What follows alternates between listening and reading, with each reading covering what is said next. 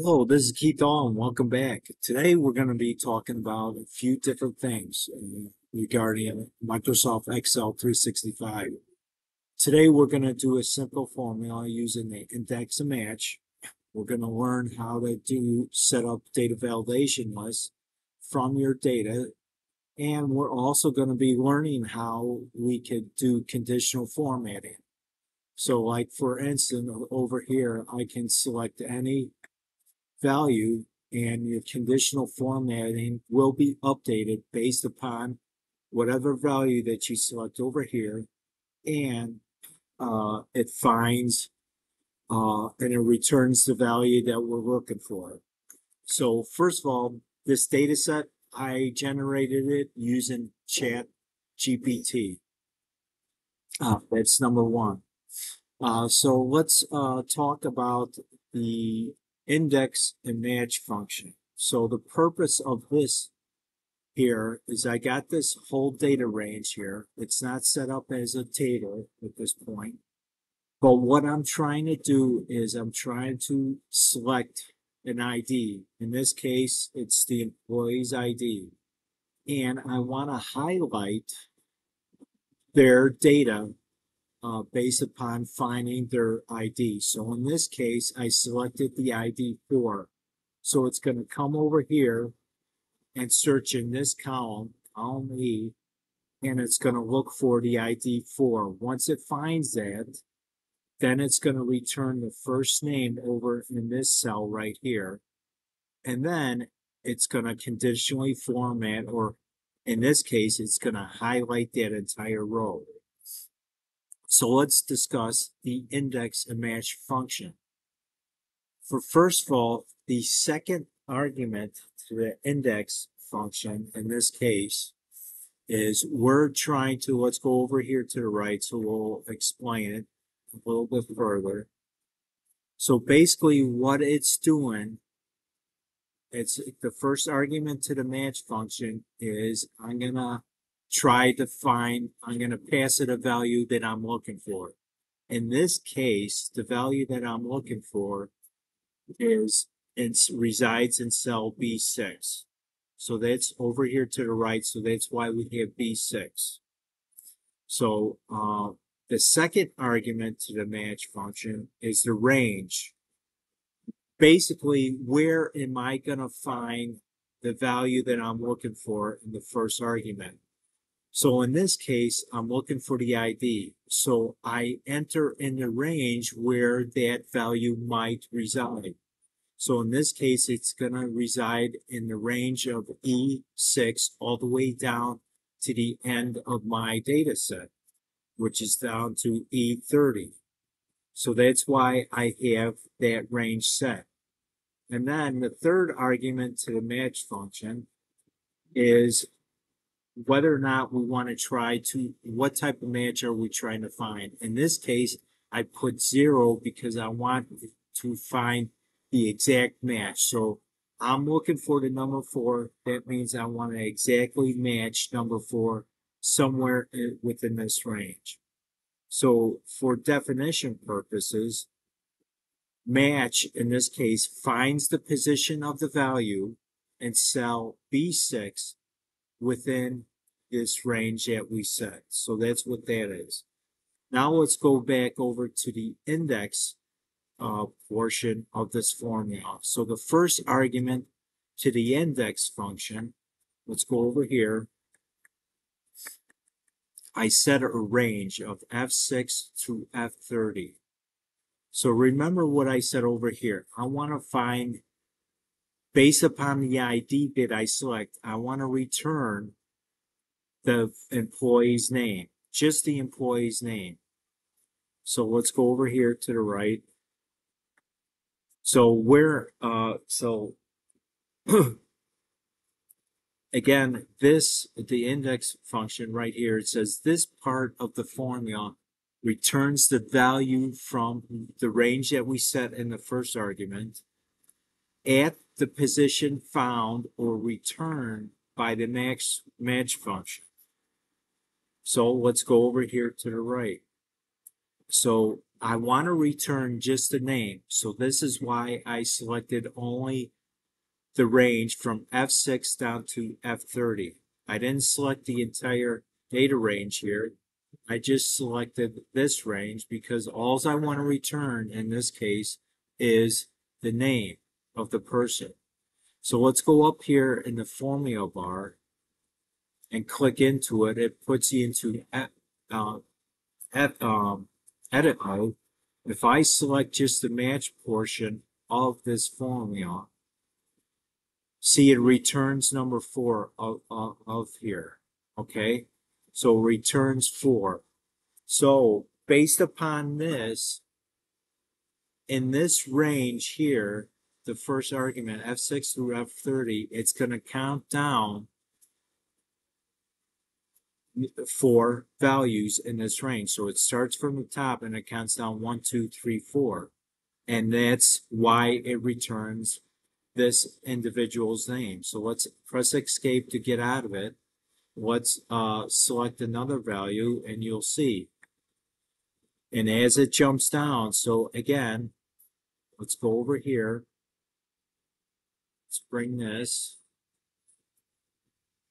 The match function returns the number 11 because that's, uh, we've casted the value of 11 here and the range it found with that value within this range 11 positions down.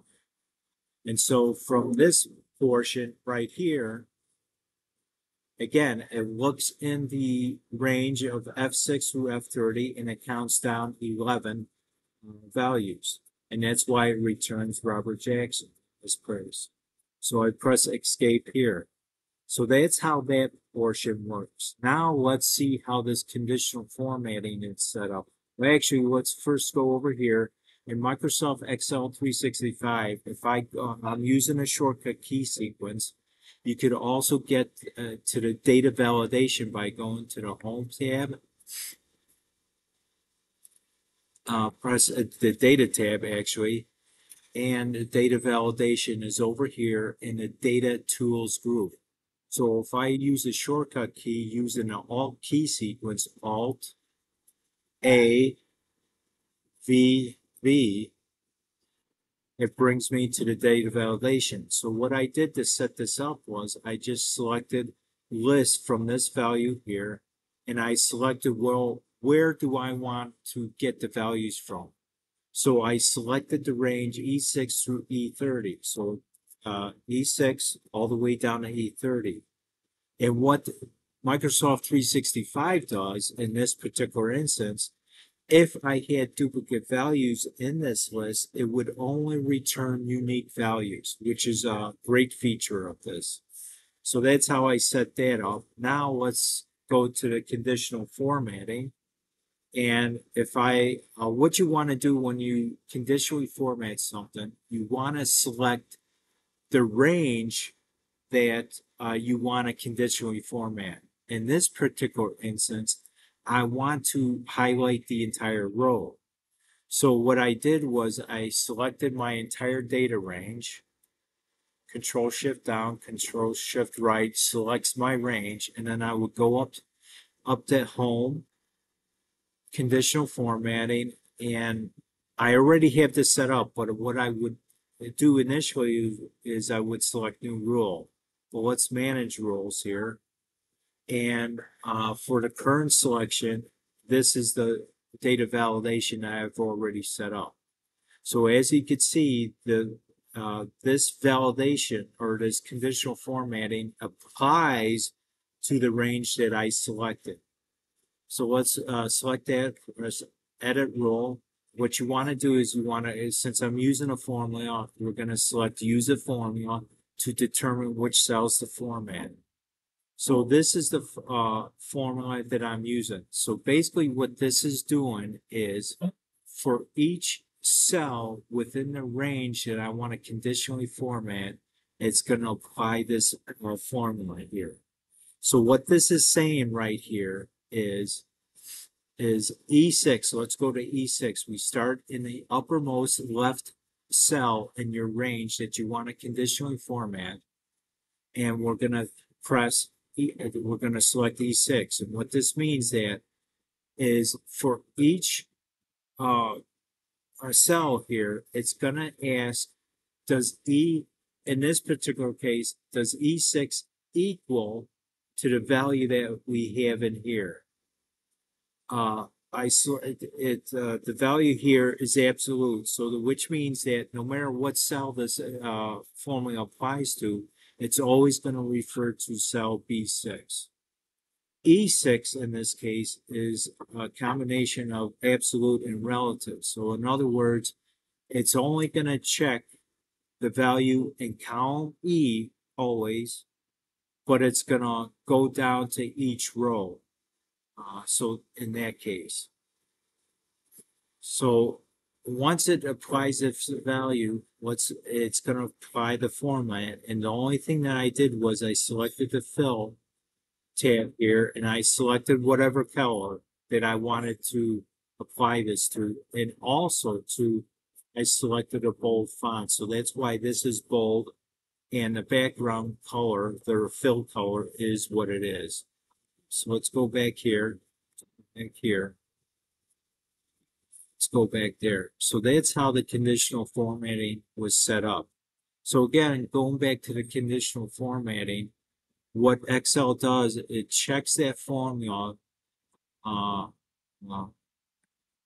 for each cell in the range. So for here, in this particular case, so let's go through this, uh, little step by step and show you what's happening in the background. Let's get the formula first. I'm gonna copy and paste it to a cell here.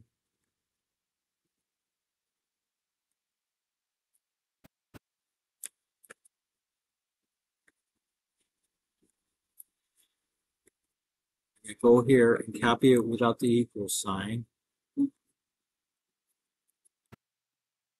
So basically, first step, what's it doing? It's, it's looking at this particular cell.